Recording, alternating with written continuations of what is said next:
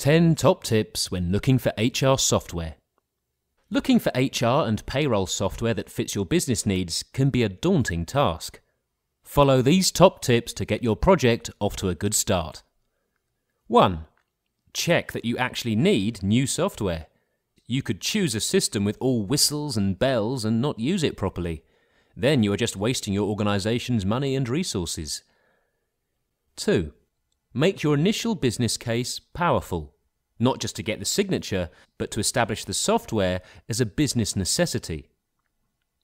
3. Do extensive desk research on various software systems, e.g., sites such as HR Comparison and vendor sites. This can be done in an unhurried manner. Don't make purchasing decisions just on the basis of a 40 minute unstructured run through at an exhibition. 4.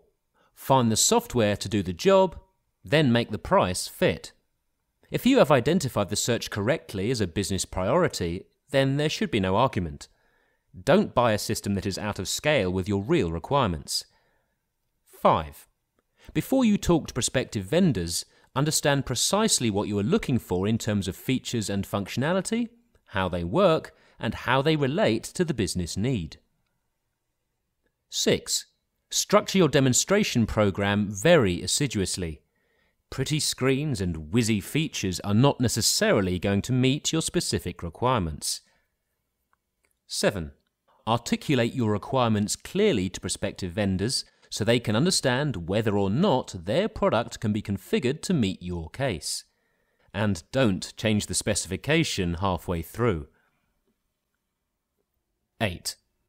Make sure that you involve the right people in your organization in the project and that they are on side. 9. If you are changing from an existing supplier, check the small print to establish any penalty that may accrue. 10. Prepare thoroughly beforehand, even before the project is fully underway.